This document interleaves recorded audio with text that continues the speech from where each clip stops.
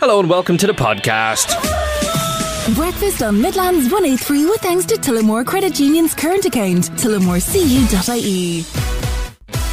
I'm ready to laugh. Let's do this. Um, Cormac has a joke first. Do you want to hear Cormac's joke? Yeah, sure. Right, let's do this. Why couldn't the bicycle stand up? Well, why couldn't the bicycle stand up? I don't, I don't know. Any idea, Cameron? Because it was too tired. Get it? Too tired. I love I it. do get it. Yeah.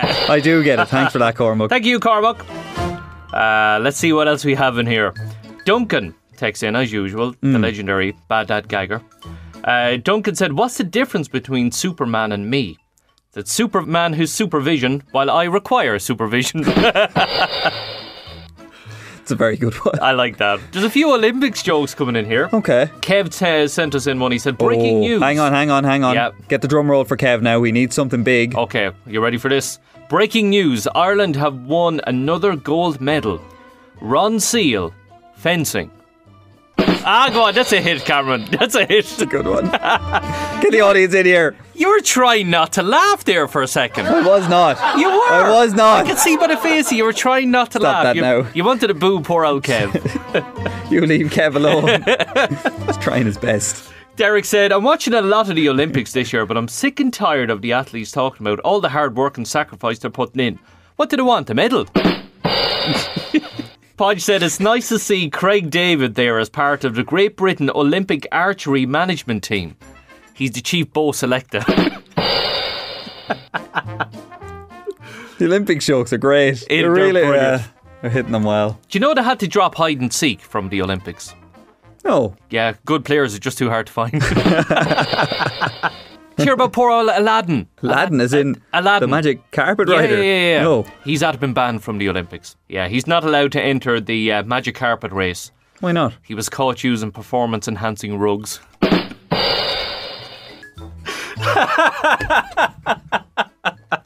oh, that is brilliant. Really good. Hi, lads. If laziness was an Olympic sport, I'd come in fourth, just so I wouldn't have to walk up to the podium. That's from Chris. Mary said, I've always wanted to try pole dancing, but the only pole dancing I do is holding onto the safety bar in the bathroom. Was expecting that to get a lot. oh, that's brilliant. Actually, no. You know what? I'm gonna keep my mouth shut. That's fair enough, yeah. Um, No need to go anywhere with that. do you know my mate Joe? I don't. You don't. Well, Joe started the uh, Dolly Parton diet. The Dolly Parton diet. Yeah, What's that? Uh, it makes Jolene. Jolene, Jolene, Jolene. Boo! Ah! That's only because you're paying them. No, I'm not. No, I'm not. Why did Karen press Control Alt Delete? I don't know. She wanted to see the task manager. oh, cheers, Borg. Here, I had to tell the bosses here in Midlands 103. Three companies are after me, so you better give me a raise. Okay. Yeah. Did they do that? Well, they said, well, what company? I said, well, the ESB, Broadband, Credit Union. They're all looking for me. right, let's give you one more. Okay. Lads, I went to see my friend's new baby, and she asked, do I want to wind him? I thought it was a little bit too harsh, so just give him a dead leg instead. that is your bad dad gags. We're not going to say stuff like Holiday Friday. Cameron, enjoy your weekend. Bad Dad Gag with Tullamore Test and Repair Centre, where all mechanic services are performed by highly qualified mechanics. Now open from 8 to 8 on Mondays and Tuesdays. TullamoreTest.ie.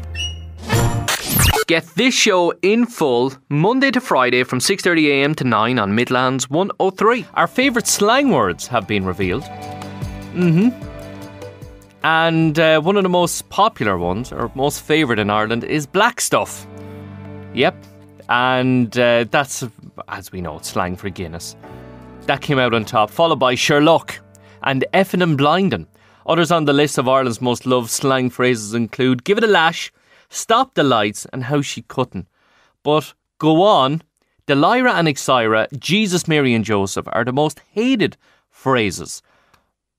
What's your favourite slang phrase? Let's get a Midlands version of this. 083 3010 103. Text WhatsApp or WhatsApp voice note. Your favourite slang word to use. Is it Sherlock? Ah, Sherlock. Actually, you know yourself. What do you think? Well, you're missing the music. You can get the show in full weekday mornings from 6.30am on Midlands 103. Quick one for you. Yeah. My little lad, uh, he's only five, but he's very creative. Okay. Okay. And he'll say like a funny sentence, and then he'll go, Daddy, we have to write that story. Oh, So he'll cool. say something kind of really obscure, and then he'll insist we write a story. And I tend to go, Oh, we will, yeah. No bother, we will. you have to encourage them. Yeah, exactly. So he stuck me to this one, right? Yeah. And on, he on. wanted to write a story called The Policeman Who Lost His Head. Ah, okay. What a great premise. So I, I told him, right, okay, well, you dictate and I'll write it. Okay, so I wrote it. Well, he told me what to write and he did the animation and everything. Would you like to hear it? I would. I really would. Right, okay, well, let's do this. The policeman who lost his head. Once upon a time, there was a police officer. He tumbled into the police station and his head fell off. Ah. He tried to look for it, but he could not because he had no head. Yeah. Um, he tried to call for help, but he had no head. Oh, God. His friend walked in and he said, Hmm, you look a bit odd. He tried to tell him what had happened, but he had no head. Oh my God. His friend said, You look different. Did you get new glasses? But all the policeman could do was wave his arms around. Suddenly, his friend realised that he had no head. No, stop. He then helped him find his head, but it could not be found. Oh, He then became known as the headless police officer. he then lived happily headless after the end. There you go. That's our debut story. What do you think? oh, I look. Can I show you the animation there? There you go. There he is with no head, and there's his friend And There's his colleague. who does have a head. The the uh, anatomy of the police officer is interesting. It is, yes. It's kind of like, uh, well, that officer has no head. Neither of them have arms. we only discovered that, and then he said, "Right, well, the next story is going to be the police officer who had no arms." Oh, so it's just already setting up the sequel. Absolutely, yeah. God, he knows what he's doing. Ah, yeah, and then it, it could be the police officer who has no legs either. So you know, you go. It's all very impressive. Aside from the um, child scrawl writing. Oh, sorry, is that your writing? Are you? There's nothing wrong with my right. Actually, you're right. It is very scrolly. But that's what happens when you're left-handed, David. Oh, That's the excuse I use. That explains a terrible Yeah. amount. Yeah, I, I get away with that. so there you go. Roald Dahl, Enid Blyton. Uh, who else? Watch your Um, backs. Watch your backs. We're coming for you. Yeah, Julia Donaldson. Never mind your Gruffalo. What about the headless police officer?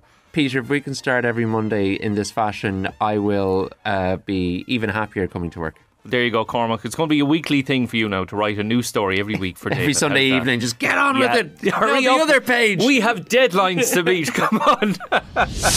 Breakfast with Peter Dunne on Midlands 103 weekday mornings from 6:30 a.m. These are the highlights. Tom Grennan, Midlands 103. Peter with you. Good morning. Welcome to Wednesday. It's 13 minutes past 8.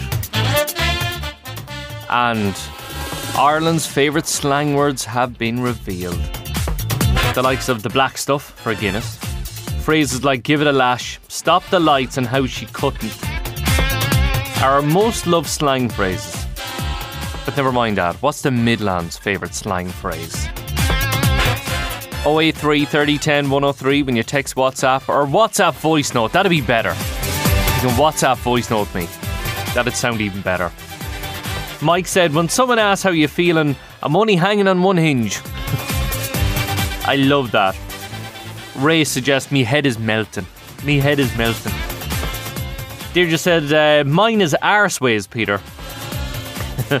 I once had a plumber in to fix my shower. He was originally from the Philippines, but living and working here 20 plus years. And he said to me, Whoever installed this for you, put it in arseways. She said, I laughed at the way he said it in his accent. and Mary said, That baits Banagher. Yeah, I'm intrigued by that phrase, actually. That baits Banagher. Oh, that baits the band. And I had a quick look. And apparently, that phrase, nobody knows where it uh, originally came from. Don't know, is it Banagher in Offaly? Or is, Ban- is a type of sand that was used in graves? And the phrase was um, Banagher baits the devil. Hmm. Intrigued. Let's dig into that a little bit more. But in the meantime, what's your favourite slang word? or slang phrase? Let me know. Let's get a Midlands version of this up and running. No radio? It's fine. You can get the full show Monday to Friday from 6.30am to 9 on midlands103.com or you can download the free app from, I don't know, wherever you get your apps, I suppose. What an anthem. Huey Lewis and the News, Power of Love, Midlands 103. Good morning, it's Peter with you. It's 22 minutes past 8. Apparently, the best way to stop seagulls from stealing your chips is to stare into their eyes. Now, a bird expert has said that glaring or pointing at them can scare them away. Professor Paul Graham also advised us to stand against the wall to avoid the birds dive bombing us out of the sky. And I remember we were in Eyre Square in Galway. Uh, when was it last Christmas? And I bought my little lad a hot dog. And I could see two seagulls, and they were getting closer and closer. And it was like personal security standing in front of him, you know, arms folded. Go away! Go away! But uh, a study from Exeter University found that birds who aren't being paid attention tend to strike more quickly.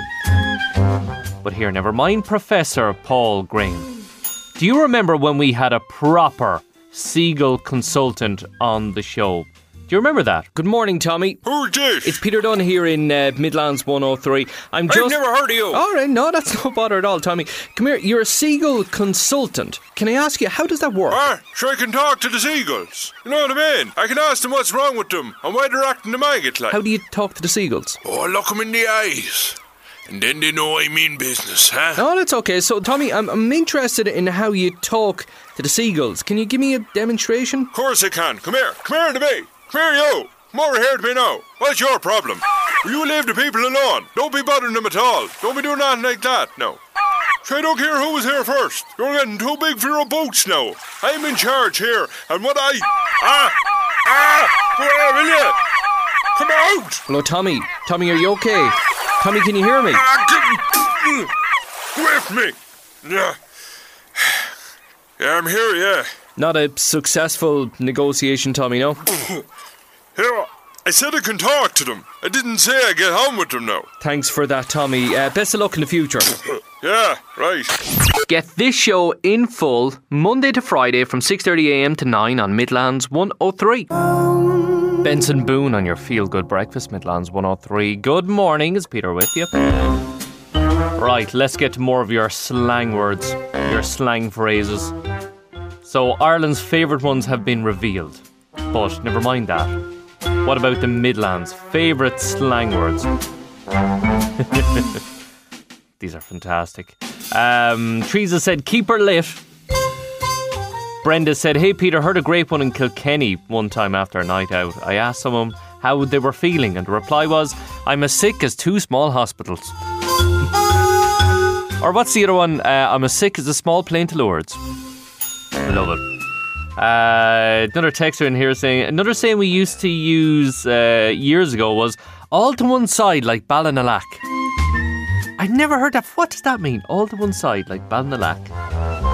I'd love to know more. Morning, Peter. Say hi to Monty, to Jella, and Mam.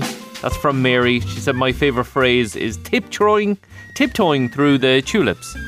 Oh, let's look for an old kiss, isn't it? Under the midnight sky. Nice one, Mary.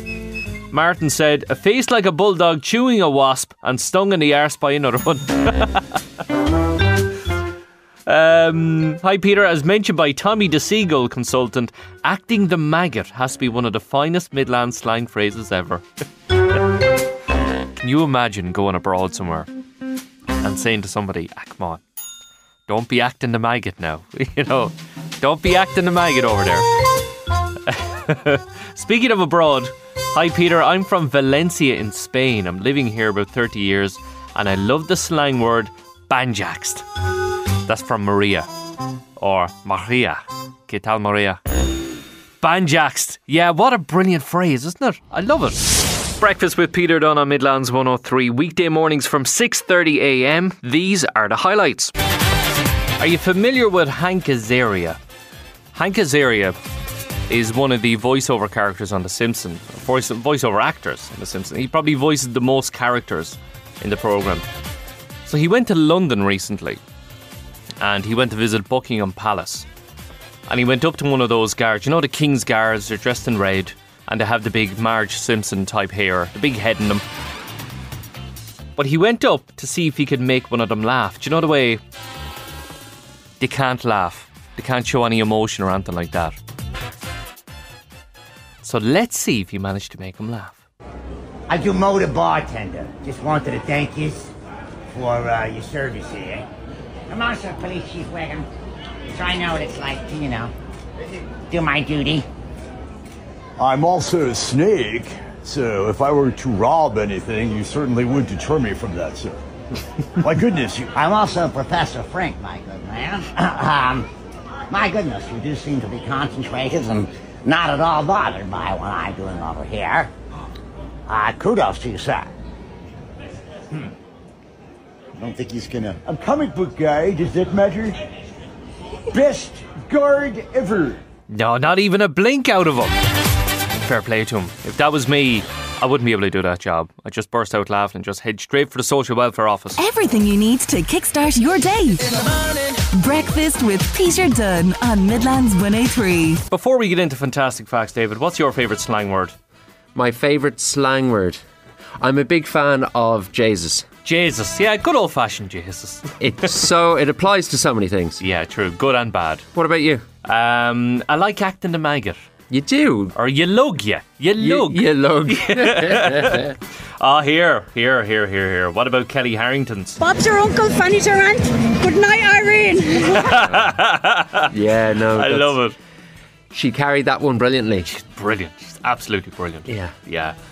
Uh, right, fantastic facts. Did you know it takes an average of four seconds for silence to become awkward? Ugh. Ugh, that's horrible. Yeah. Yeah, it goes beyond having a thought and then just it turns Yeah. into not talking. you just need to fill that space. You know, it's like, oh, wow.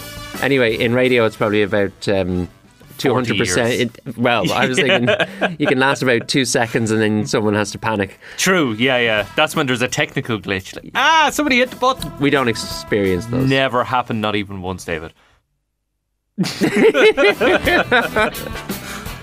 um, did you know dinosaurs are not technically extinct? Did you know that?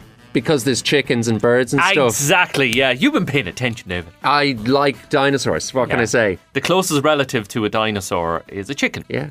But and it's funny when you look at a chicken run, you go, "Oh yeah, right." Honestly, if you uh, only saw the chicken and not its relative height compared to the rest of the world, you'd be like, what a dinosaur. Oh god, know? yeah, you're right. Yeah, yeah. If like chickens were mm, like 24 foot tall, you'd be going, "God Almighty." Yeah. Isn't it mad how dar- that, that, that, that it evolved to just this thing that produces eggs for us to eat when, Yeah. it, when, when- originally it was this big epic dinosaur? Yeah, they wanted it. Well, yeah, yeah. That would have been very dangerous if we were around at the same time. Yeah, I suppose is that evolution or de de de-evolution? You're getting too deep, David. You're getting. Let, let, let me bring it back now. Let me bring it back. this is your you you just continue fantastic facts. I'll sit a little bit quieter here. Did you know music is so influential on the brain that the type you listen to will actually change the, your ability to uh, think different and look at the world? I totally believe that. Absolutely. I just think music is a gift that keeps giving. That's why And we it- do feel good music here on Midlands 103. So and you, you feel do good. it Simple. so bloody well, Peter. Thanking you very much, David. I appreciate that. Um, let's true. give you, let's give you one more. let's right. give you one more. Did you ever get a headbutt off a cat? Oh yeah, Yeah, Yeah. plenty of time. And that means they like you and they trust you. I've I've presumed that's the case. Yeah, that's it. It's called bunting. So they give you a little kind of nudge. All right, mate. can- yeah, yeah, Yeah. little nudge. That's what Zinedine Zidane wanted to do to Marco Materazzi. that. Materazzi. That's all he wanted to do. He wanted to say, "Look, I trust you." Got himself a red card for it. Ridiculous. I wonder what? Materazzi said to him. Yeah, I wonder. Yeah. Ah, well, they never know. Hold on. Yeah, there you go. David, good luck. Thank you. Catch you later. Well, you're missing the music. You can get the show in full weekday mornings from 6.30am on Midlands 103. Gabrielle, When a Woman, Midlands 103 is Peter with you. Good morning. Welcome to Wednesday. Looking for your favourite slang words, the Midlands' favourite slang words. Pauline said, Hi, I like the slang, you Luther, ya. uh, Paul said, Come here to me. Come here to me, will you? Even when you're standing next to somebody, come here to me. Come here to me. Um, there's a few brilliant ones in here. What else? Uh, hi, Peter. It's more of a Cork term, but I love the word gowl. You gowl. Our Irish slang for no is, oh, well, yeah. Yeah. Yeah. 083 30 10 103 when you text WhatsApp or WhatsApp voice note. Uh, big shout to Ronan Berry, who's sitting in for Will Faulkner on Midlands today. And Ronan reminded me of a David Hollywood classic slang. How did I forget this? Holy balls. No radio? It's fine. You can get the full show Monday to Friday from 6.30am to 9 on midlands103.com or you can download the free app from, I don't know, wherever you get your apps, I suppose. Thank you, David. Let's do it. Let's put all your bugbears into room 101. Big hello to Dorina who got in touch. Dorina said, uh, Hi Peter, spiders and large moths, they should be put into room 101. What do you think? I've, I've no issue with spiders, but moths are just idiots, aren't they? they are, come on. Like, seriously. Stupid Oh, bashing around. Yeah. Oh, sorry. Oh, I ate your clothes. hitting Apologies. off the curtains, you know. Oh, look, there's a light. Everybody, let's go over to the light. idiots. What do you get from the light, You know, no, you're right. Those spiders are class. I like spiders, yeah. Uh, they get a ba- bad rap, but um, if we could all just get behind Embrace them, Yeah, yeah, yeah. Peter said, uh, room 101, starting sentences with so. So, my one is now. I'm like now, now. Yeah, I do that all the time. yeah. Now, I think I get it from me, mammy. I'm going to blame her. It's certainly an Irishism, isn't it? Yeah, I think so. Uh, Martina said, people that don't use indicators on roundabouts drive me mad. Oh, 100%. Yeah, yeah. It's really easy. Like, the, the button is right there in front of you. Just hit the lever. It, You'll be it, fine. it really helps other people around you, you know. Dean Mullingar said, I hate when someone at the check, it's- you're behind someone at the checkout and they run back to get something they forgot. Yeah. do you mind? Do you mind? I just have to tip back and get something. I'm Of course, I don't mind. I I'm that really fool. Mind. I, I so often forget what I'm in the shops for. so uh, look, I get it. I know it's annoying, but please put up with us.